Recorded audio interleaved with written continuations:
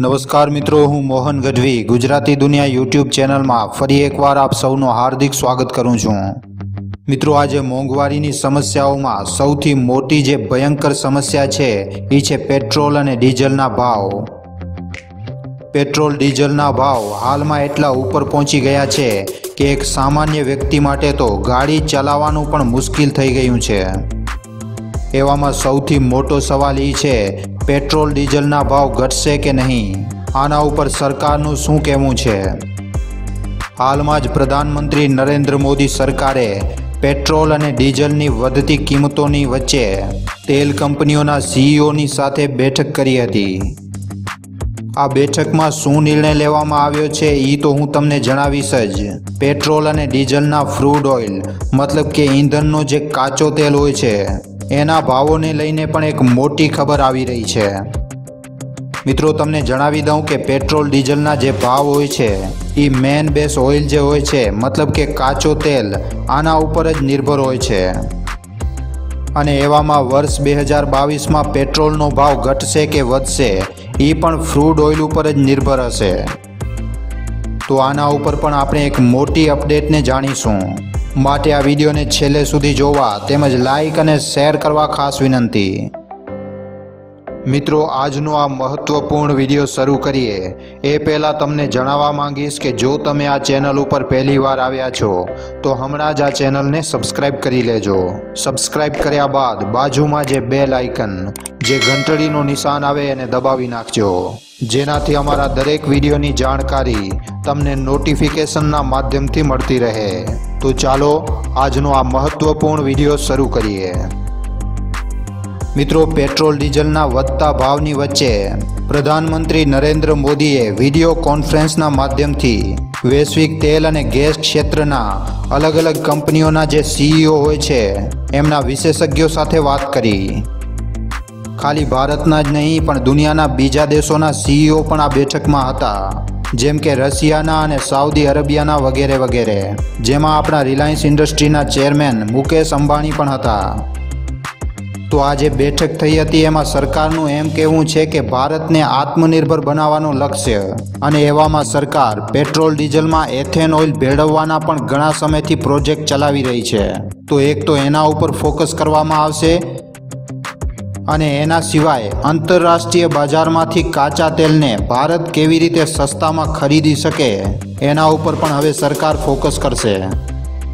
તો આ એક રાહતની વાત છે કે આવનારા દિવસોમાં પેટ્રોલ અને ડીઝલના ભાવ ઘટશે, કારણ કે સરકાર ફ્રૂડ ઓઇલની ખરીદારી ઉપર પોતાની રણનીતિને બદલવા જઈ રહી છે.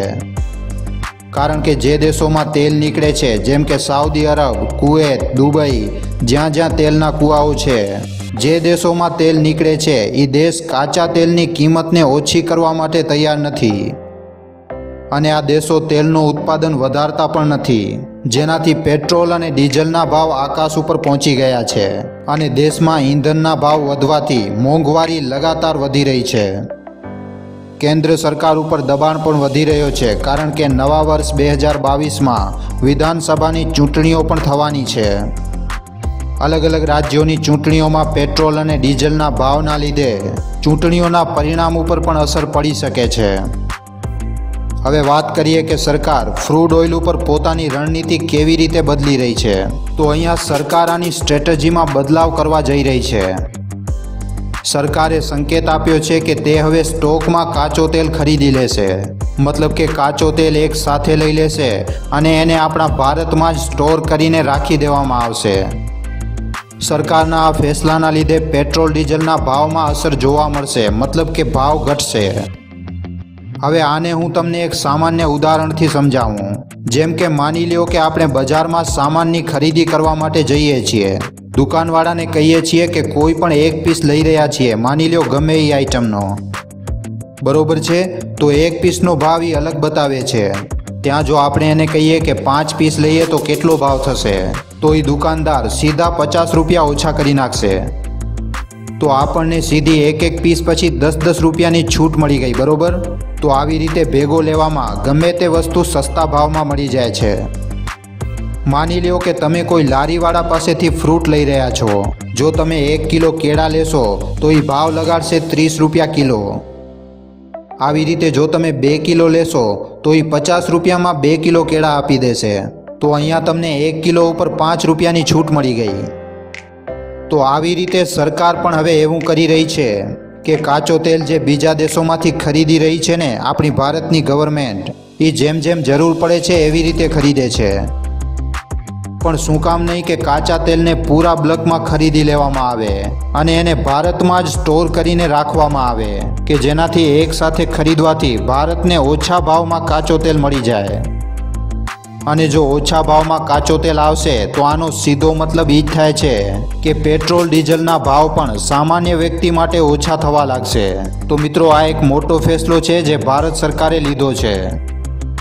તો મિત્રો, આજના આ વીડિયો ઉપર તમારો શું અભિપ્રાય છે? અમને નીચે કમેન્ટ કરીને જણાવવા ખાસ વિનંતી.